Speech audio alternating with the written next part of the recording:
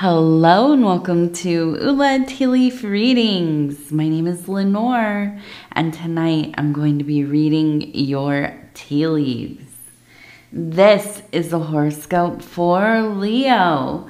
If Leo is your solar, lunar, ascendant slash rising sign, then this is a message for you.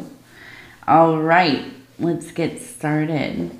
And so this is a bonus reading for Leo. And today our card is the King of Swords. It's everything to do with that kind of mental space, that that focus, that clarity, that innovation, that creativity. The communication too, that's important. All right, let's go ahead and take a look and see what these tea leaves have to say. And so if you have not subscribed yet, please think about doing that. You can hit that little bell. It'll let you know when the next readings are coming out. It is free to subscribe. And if you'd like to leave a comment, please do, especially if you're new to the channel. Shout it out. Let me know you're here for the first time. And uh, if you'd like to hit the little like button, I would not be mad. I appreciate it so much, actually. Okay, so we have the number six right up here. Uh, seems important, right? um, we have the number six, and I'm looking at this, it almost looks like we have C and G. C, G, okay?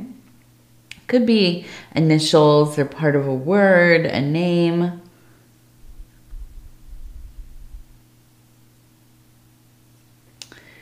So, it does look like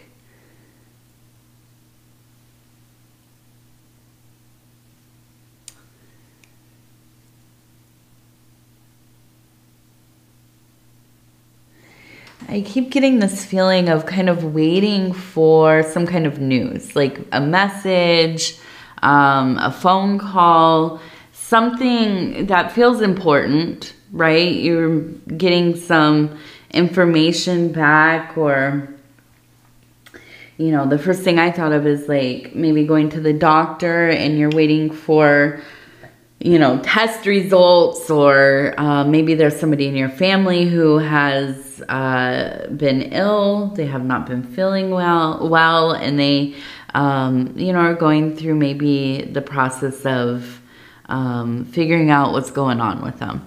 And you're kind of waiting to hear, you know. Um, I don't necessarily feel like this is directly you, although it could be, Okay. I feel like there's more of kind of a support role here.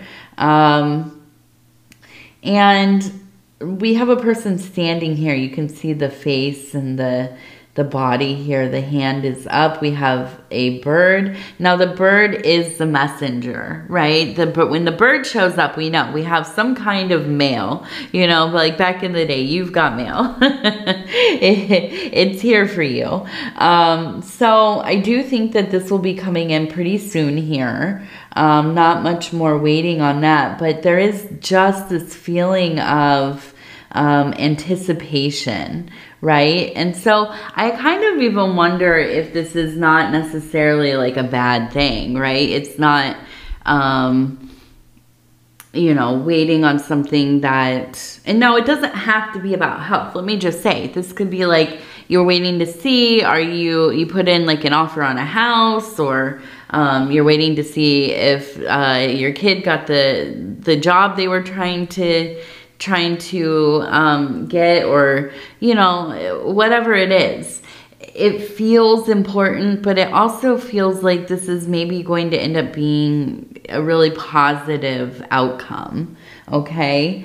So um, I do see, we also have three people one right here, you can see kind of the head up here, the body. These are the legs, okay? And this one looks like, yeah, it's running, right? Whoever this is, running. Now we have another person up here who also looks like maybe they are at least walking. they maybe don't have exactly the, the running um, stance. You can see the two legs here. Here would be the head, the body.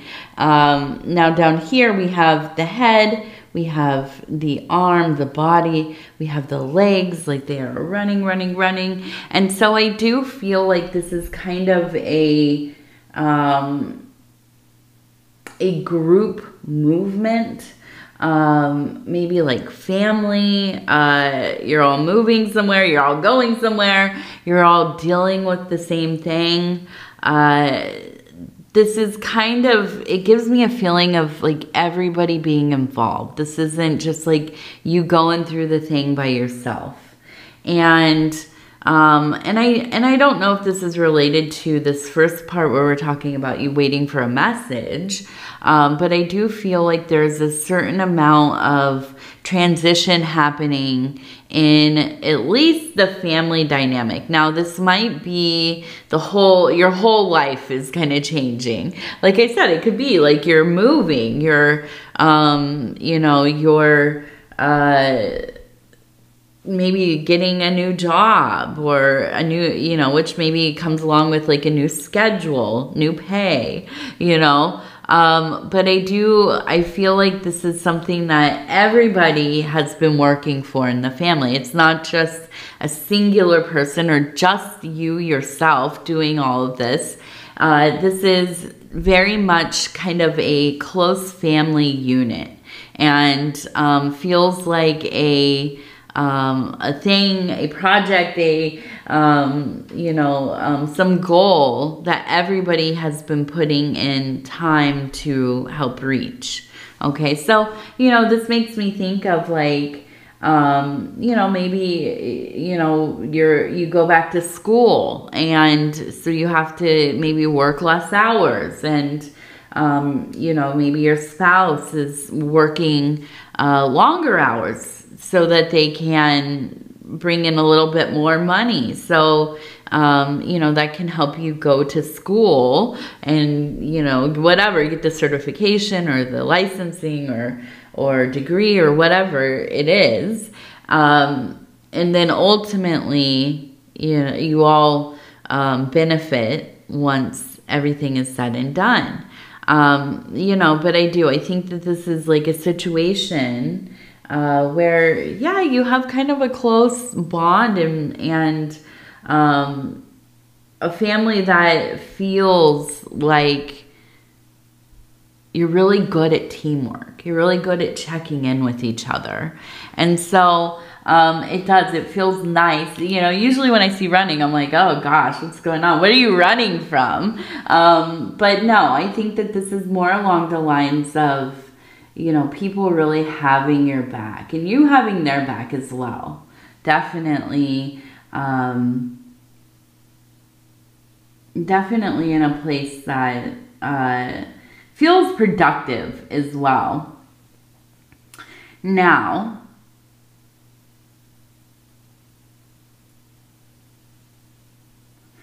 we have the E up here. Oops the E up here, okay? Um, and so I'm looking at that and I'm also, it looks like EP, maybe EP right there. But I feel like maybe this is related to somebody who is transitioned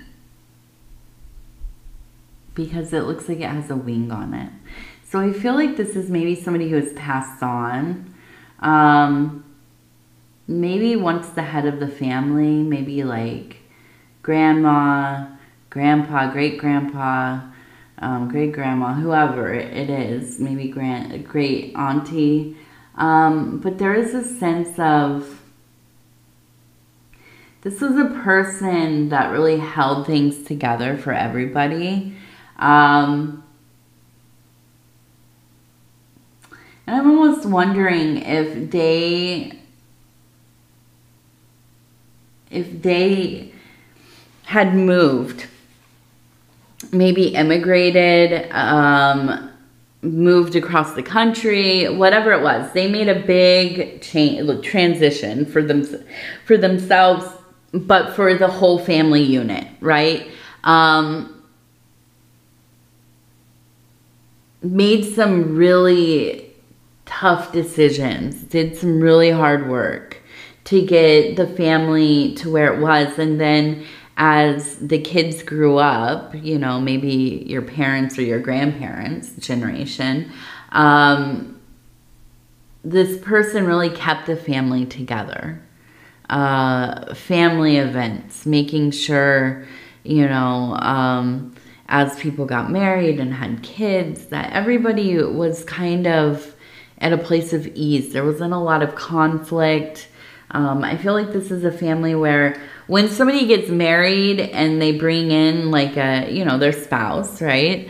Um, that's family. There's not, there wasn't this sense of, you know conflict with the in-laws and the and the new family members you know kind of assimilating into the family. It just felt like there was a strength and togetherness. And i think that you more than maybe anybody else in your family right now right extended family i'm talking you hold these same principles. I think that you're really kind of the embodiment of this grandparent, great grandparent, um, you know, whoever it was. You have become that. You're, I feel like you place a lot of importance on um, everybody kind of coming together, uh, especially when there are things to celebrate. Uh, weddings and babies and and um, graduations and birthdays and you know i think that you're somebody who's very um, you have a good memory for these things but you're also like you always call. Um, you know you maybe send cards.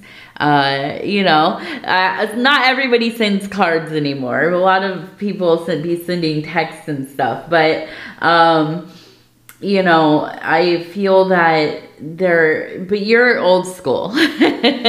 You maybe even write letters which shout out to you um, for the letter writers. I am also somebody that tries to. I don't always get it done but i've gotten good at my cards. I'm pretty good at sending out cards and and all of that. Um, but yeah, I think that you place a lot of importance on remembering each other, on including one another. Um, you know, I think that there's just a strength in your ability to kind of keep things from, you know, entropy, right? Where it's just the family just kind of starts to, um, and it's not even just falling apart, but, you know, kind of separates and, and is is uh, taken by the wind, right? Everybody just ends up in different places. They never see each other anymore. Um, you know, maybe on like social medias or whatever. Um, but you make sure you're like the one that it, you know is out here um, putting together like a family reunion type of situation. Um, good at also navigating all of the impersonalities, right? All the complexities that come along with, um, yeah, having an involved family life. And so um, I feel like this is one of your higher callings in life. And you might think, well, that's silly, Lenore. Like, you know, doesn't everybody kind of want their family to be together and, and, and it's just like, something we do? Well, no. No. It might be portrayed as that, you know, like in, you know, if you're watching some kind of soap opera or, you know, whatever. Not soap opera, but, you know, like the prime, or, uh, what is it called? I forget now, primetime TV or whatever. You know, like these kind of situational comedies and dramas and stuff no, not everybody is close to their family. A lot of people actually, I feel, probably are not any longer, you know? And so, uh, yeah, this can be definitely a higher calling, being somebody who kind of keeps the tribe together. And, um, you know, that doesn't come naturally to people always. But I think for you, it has. I think it's also that you grew up around people who really prioritized uh, watching out for one another. So I think that this is something that you should take some pride in. This is something that you, you know, maybe consider as one of your superpowers is that you're really good at kind of herding cats, right? People that are all busy and have a lot of things going on and, you know, um, whatever, but you have made sure that there there's a closeness there that there's a familiarity of family and not just kind of, you know, not really engaging one another. Um, so that's a beautiful thing. And I feel like this person coming through, and also we have the cardinal right there, um, coming through and kind of is a confirmation of you kind of taking up the mantle, right? You are the one that um, has really taken on this role as kind of the glue that keeps the family together. And um, you know it, for better or worse right? It's a, it's a lot of work you know um, if you have ever hosted anything or tried to get everybody sorted so the schedule fits it's a lot of work the more people that are involved, the more complicated it is. Um, but I do, I feel like you're pretty dang good at it. Now, we also have the letter V that seems important. I think this is actually related to this family member that we're talking about that's coming through and kind of, yeah, recognizing. I see, I see you taking, you know, my place in the family, taking on my role, I should say, not the place, but taking on the role. Um, now, we also have uh, a rabbit here. So I feel like in this next maybe a year or so, there's going to be more than one child coming into the family. So maybe, um, you know, some grandkids or or maybe, um, you know, siblings having children, maybe you're having a child. Um, but I do feel like this is kind of, um, you know, like a, there's a wave of children on the way. And so um, that is something to be uh, you know, looking forward to, definitely. Something most blessed. Okay, so we're going to go over here. We have the letter B right up here, the letter B. We have a person beneath the moon.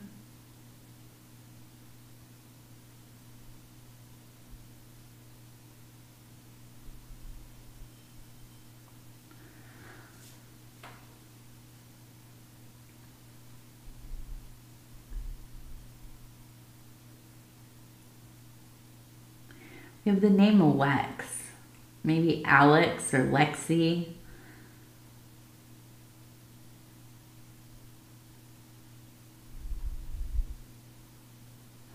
So I feel I feel like there is uh,